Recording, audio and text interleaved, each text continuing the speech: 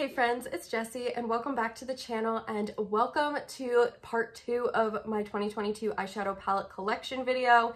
If you're curious about the look on my eyes today, I did film this look for my Nomad Cosmetics Fête de Provence palette, the three looks one palette video, which should already be up, so I will link that in the description if you're interested in checking it out. But today we are going to be going over my more affordable palettes and bigger palettes. We have lots of ColourPop, lots of Morphe, lots of palettes to get into, so let's get started.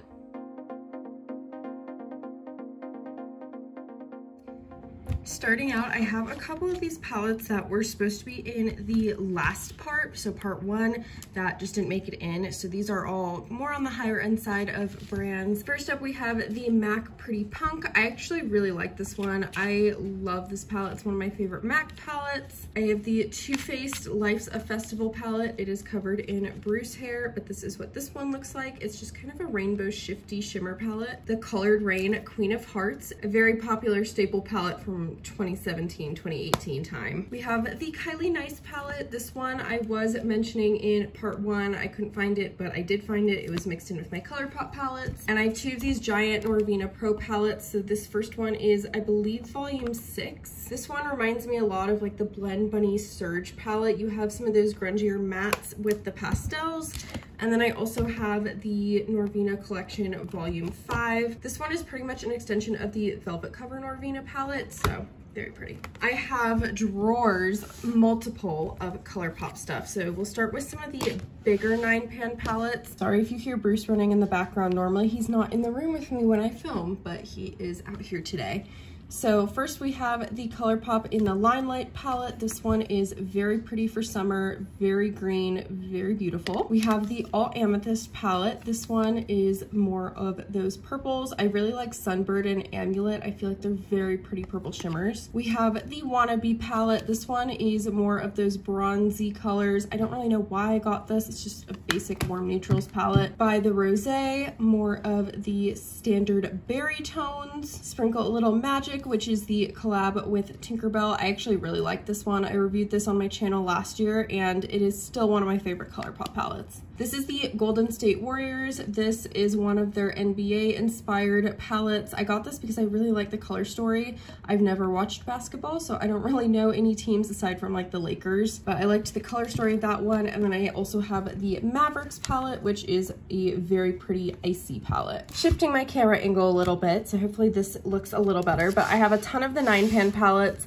Let's go ahead and just get into them. So first up, I have In a Trance. I really like the color story of this one. I'm obsessed with the pastels. They did this pastel collection, I wanna say in 2020, it was during the Panini, and um, I really like the all three of these palettes that was in the collection, the Aura and Out. This one is so pretty. I love the matte white in here. Miss Bliss, this is definitely the most neutral and wearable of them. Then I also have the Lucky Penny. This is a deeper bronze palette. I don't know, every time I see warm neutrals or bronzes, it just kind of gets my makeup my makeup sense is a little tingly. I am very into those bronzes. We have Strawberry Shake. This is more of pinkies with a little bit of neutral in there. The main Squeeze palette, which is red. This was, I think, one of their first monochromatic palettes. I remember when this came out and everybody lost their crap. Wine and Only. This is those deeper reds and berries, kind of maroons. And last but not least, for these nine pans, we have the Orchid You Not.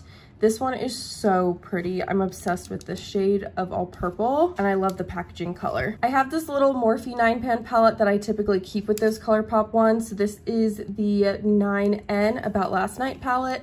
I have since decluttered all of my mini Morphe palettes, but I like this one. I believe it was a holiday launch from like 2018 or 2019. Next we have the softer cover 9 pan palettes. So up first for the softer covers, we have the Hello Kitty and Friends. This is the Snow Much Fun palette. If you saw my Project Level Up intro, you probably saw the shade Eat out of its pan. We have the Frozen 2 and Anna ColourPop palette. This one is so fun. This has also seen some better days. I've been working nonstop on this palette. She's got Solstice, one of my older nine pan palettes. I have Cherry Crush. I went through a phase where I was obsessed with red eyeshadow and I like the different rows and different tones of red in this one. I have the Fine Feathered palette. This One's just mauves and pinks. This is the Frozen 2 Elsa palette. Out of the two Frozen palettes, I actually like this color story more, but I tend to pull for the other one more than this one just because it's been in so many projects. But this silver shade, gorgeous. And then which one is Gale? Gale is this one. It's like this shifty shade. You can see all my swatches from Ulta today. This is such a pretty shade. This is the High Tide palette. It is some really pretty teals and aquas. Lock It Down. This one I probably didn't need. I don't even think I've used this one, but this was an Ulta exclusive for a while and it is purples. It kind of reminds me of the Orchid You Not, just with some more cool tone neutrals. We have That's Taupe, which is just a very standard cool tone palette. I really like this one. Lil Ray of Sunshine. This is all mattes for the most part, I believe. Yeah, they're all warm toned mattes just a basic mattes palette. The Ornate, this is a reddish yellow. It kind of makes me think of Gryffindor from Harry Potter. Grandeur, this is cool tones with kind of like a hint of glamour to it.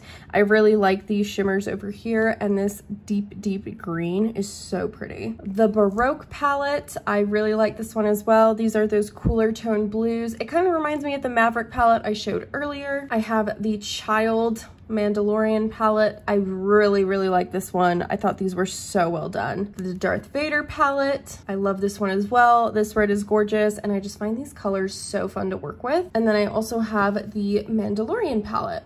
This one is super pretty. I haven't used this one yet, but it is on my list to do so. Next, I have more of my bigger ColourPop palettes, so bear with me. There's a lot to get through. This is the Through My Eyes in collaboration with I Love Sarah E. This one is super pretty. It's just those really rich, warm jewel tones. Mesmerize is literally to die for. The Malibu Barbie palette. This one has been chewed on by Bruce a little bit, but I love this color story. I took this on a trip to Reno for a month and I really like it. We have the Midnight Masquerade palette. This one is another staple in my collection, or at least it was for a little while. The Mulan palette, probably my least favorite of the different collab palettes I own. I just find the color story not too inspiring. I like the reds, but it just kind of messes with me having all these cool tones next to some reds and I just I feel like it's kind of just a little basic. The Misunderstood has a, literally all the beautiful shimmers you could ever want. It has the crazy reflective packaging so hopefully you can see the tones all right but I love Diablo, Forest of Thorns, and Facile down at the end.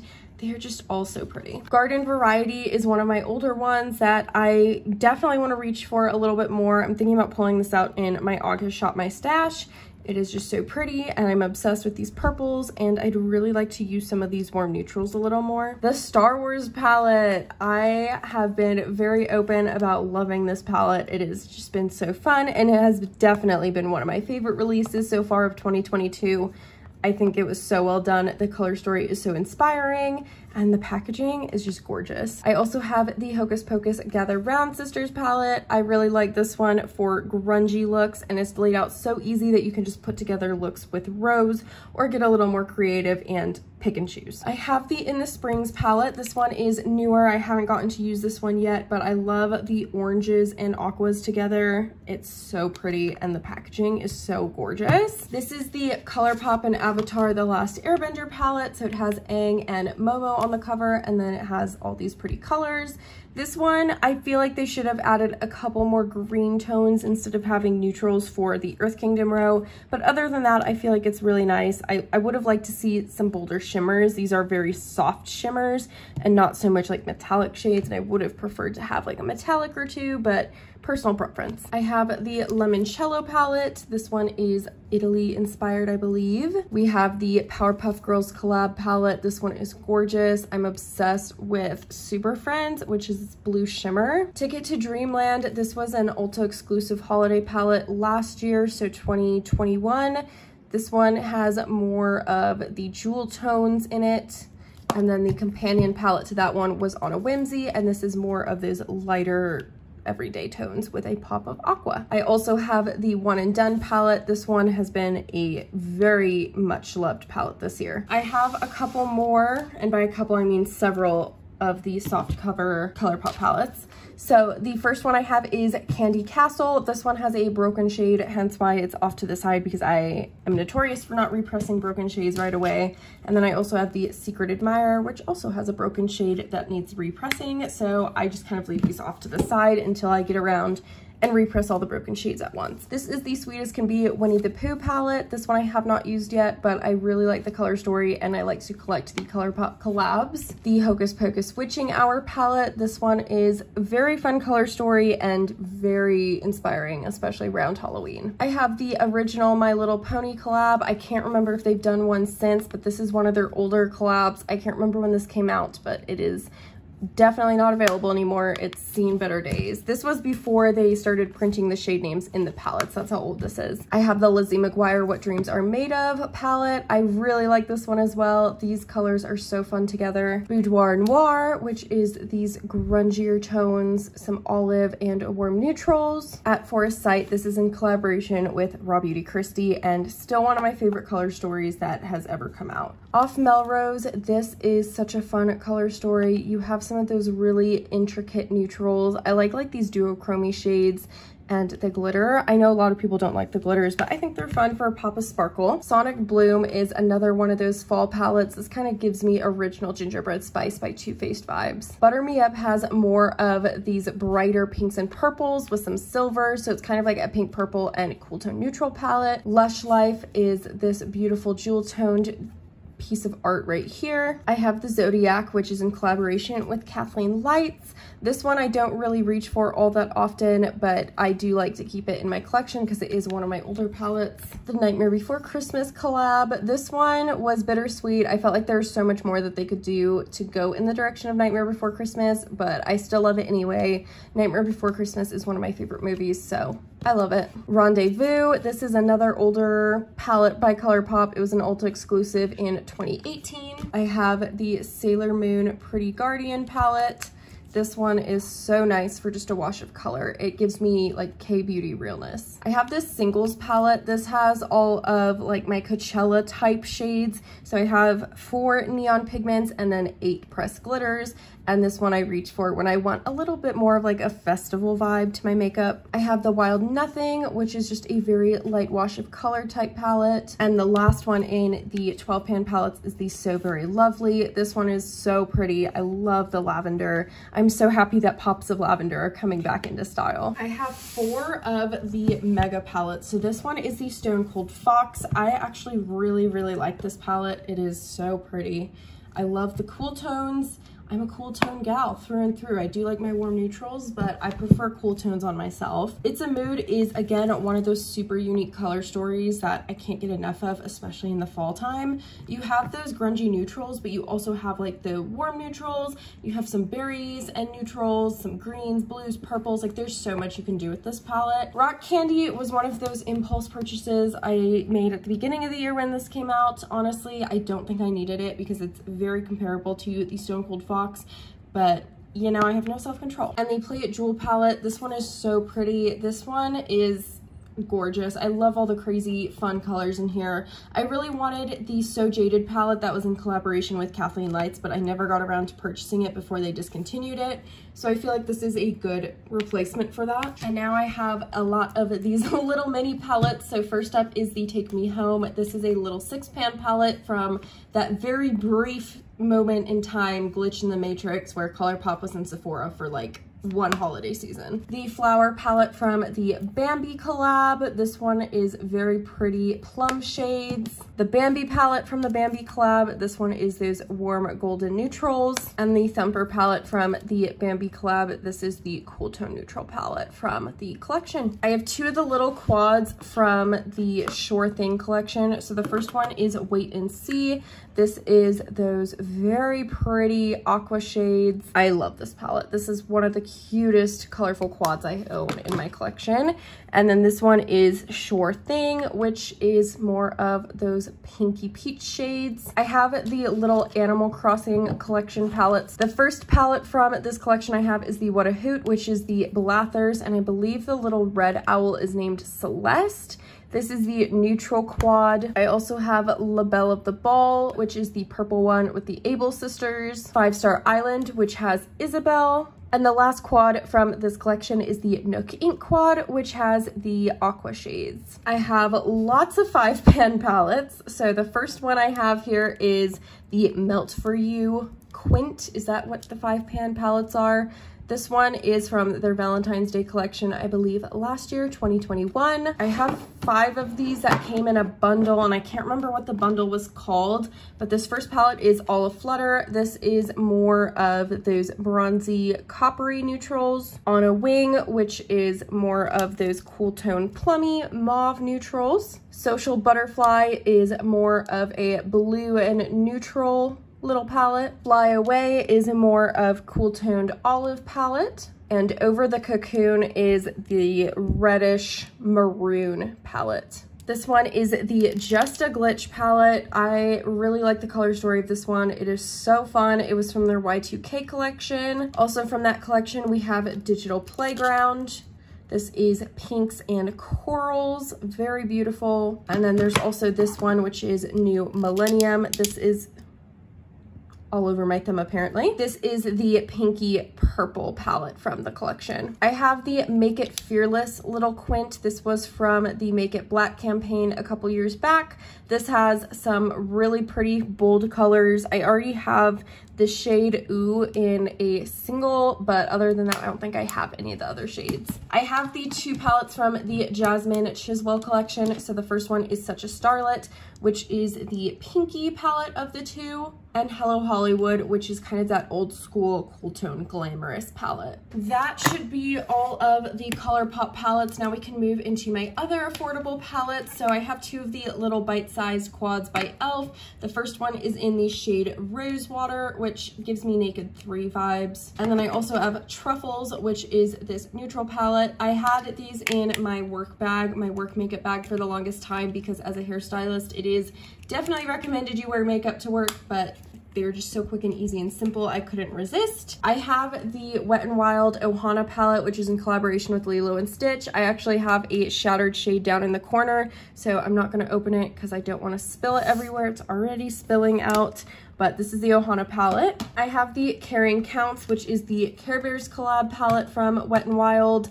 I really like the colors in this one. I feel like it's such a fun rainbow palette. And last from Wet n Wild, we have the Nautical Nonsense, which is their SpongeBob collabs. Is it obvious that I like collab palettes? Who would have guessed? This is the I'll Be There For You by Peachy Queen. This is their Friends inspired palette. I haven't heard much about Peachy Queen. I'm not sure if they're still in business, but I really like the bright colors of this one. It's just a little bit confusing looking at it and trying to piece together looks, but I do like shades individually, like this bright pink and the bright green and the coral. Like there's a lot of fun individual shades.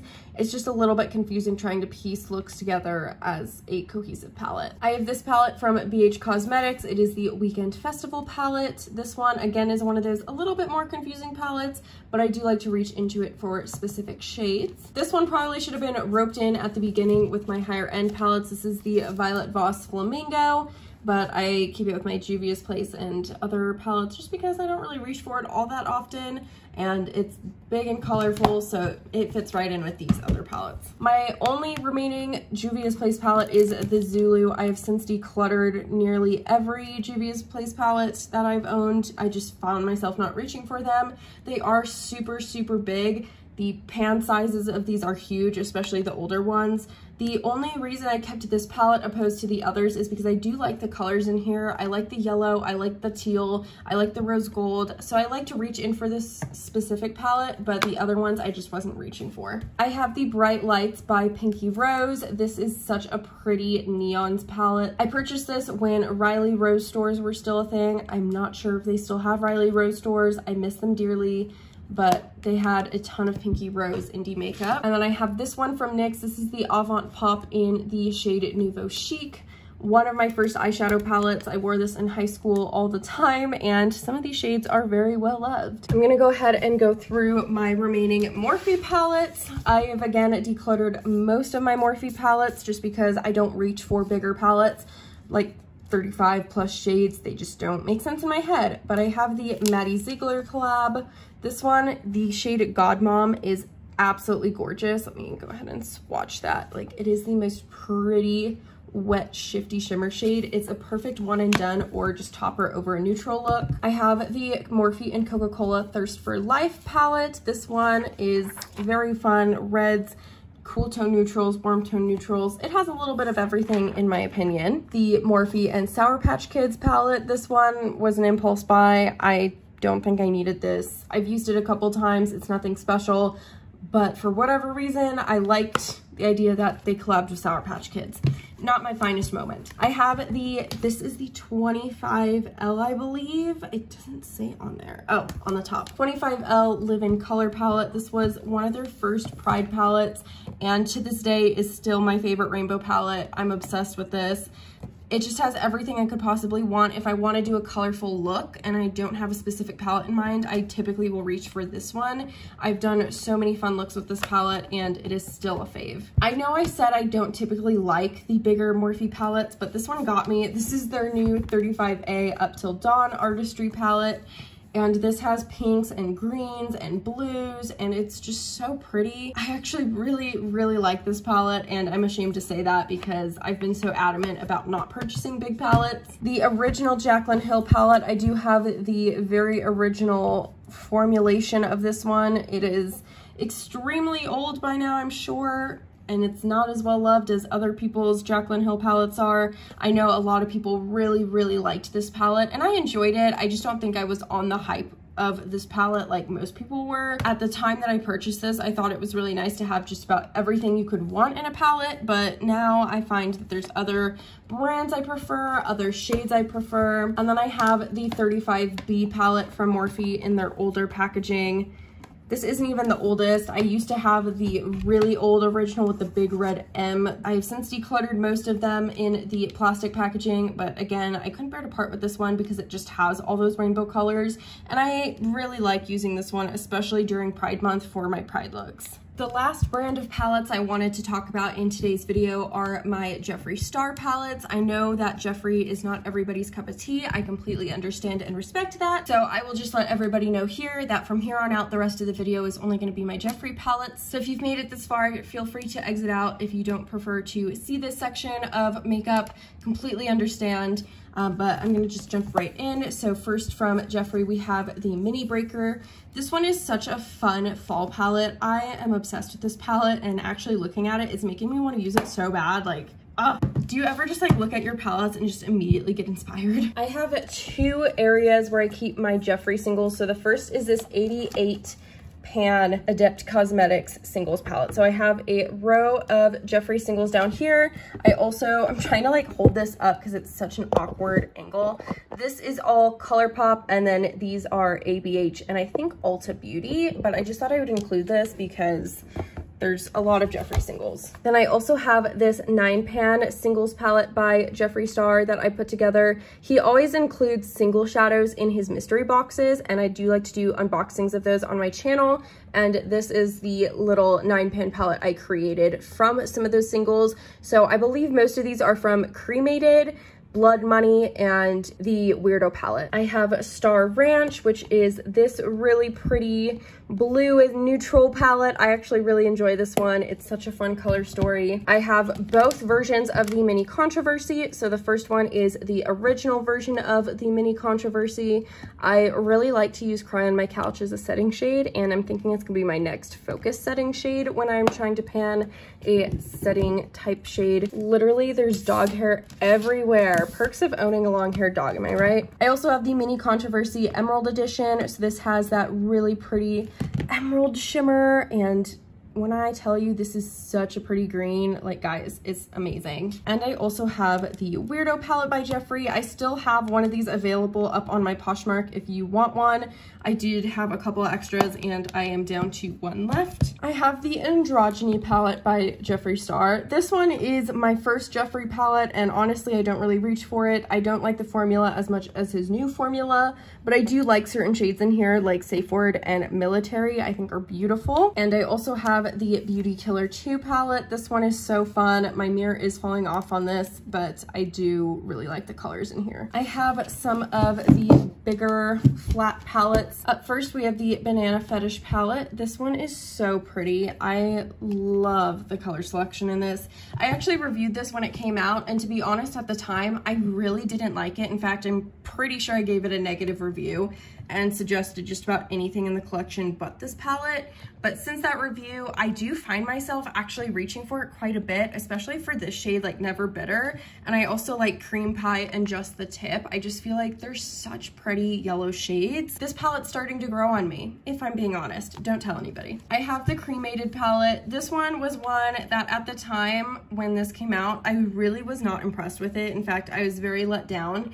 But now, since I've really embraced kind of those grungier, deeper smoky looks and cool tones, I am obsessed with this palette. I love these shades. They have a super black black, a super white white, just about anything in between. It's a really nice palette, especially if you want to do like an all grungy silver look. We have the Thirsty palette. Again, not my favorite formula from Jeffree. I very much prefer his newer formula, but this one is discontinued and I will never part with it because I have a thing for limited edition slash unavailable makeup. We have the Jawbreaker, another very well-loved palette in my collection. We have a pan in Orange Juice, my favorite orange shimmer. I have a lot of wear and tear on some of these shades. Virgin, this white is super, super loved. It has just about anything you could need in a rainbow palette. And everybody's favorite palette, I'm not actually sure if I'm allowed to say this word on YouTube, but you get the point. This is an all matte neutral palette. And then I keep the rest of my bulky Jeffree palettes in this basket under my shelf. So up first we have Pricked. This one I have not used yet because I just purchased it when there was a sale, but this has those orangey red colors. It's very pretty. I just have not gotten around to using it yet. Pink Religion. I actually have reached for this one a couple times this summer and I do really like it. It just stains my eyes really bad, so I try not to, to use it on days where I know I'm gonna have something the next day. I have my limited edition or anniversary edition blood sugar palette. This one is in the white packaging. I actually got this one before I got the actual or the standard version of the blood sugar palette but I really like the white packaging on this one. And then I have the standard blood sugar palette. This one I got, I believe in my Valentine's Day mystery box unboxing. This one I tend to reach for more now. I like the white background more because I feel like it makes the colors make more sense in my head, but I find myself using this one more because the white packaging gets so dirty so quick. We have the Conspiracy palette with Shane Dawson. This one is a well-loved palette in, in my collection. I really like this palette and whenever I find myself reaching for it, I feel like I'm trying to push myself to create new color combinations and looks. So I feel like there's always inspiration to gather from this palette, even if it's a little bit more of a confusing color story. I have the Blue Blood palette, another one that at the time of launch, I wasn't really interested in, but now that it's been out and I have it, I'm very glad I picked it up and I find myself reaching for this one quite frequently. I have the Blood Money palette. This one is greens and gorgeous and I'm obsessed with it. I really like the shades in here. Money Heist is one of my faves. Poison Ivy, Chameleon Fetish. I really like Heavy Weighted. There's just so many fun greens in here and I didn't realize how much I liked green eyeshadow on myself until I purchased this palette. I have the Alien palette by Sir Jeffree. Oh my gosh, I just accidentally disconnected the mirror. Oh wait, that's not even the mirror, that's this broke that. Love that for me. But this one is such a fun grungy color story. I really like it. And out of all of his palettes, I would definitely say this is my favorite. And the last palette in my collection is Miss Bloodlust, which is the purple shades. I love the purple tones. This has some very unique formulas with these shimmers, and I am obsessed with these lavender shades as well. Thank you guys so much for watching. I would love to know if we have any palettes in common, so let me know if you have any of the palettes that I have and what your favorite palette is. I would love to know, so let me know and I will see you guys all in the next one. Bye friends.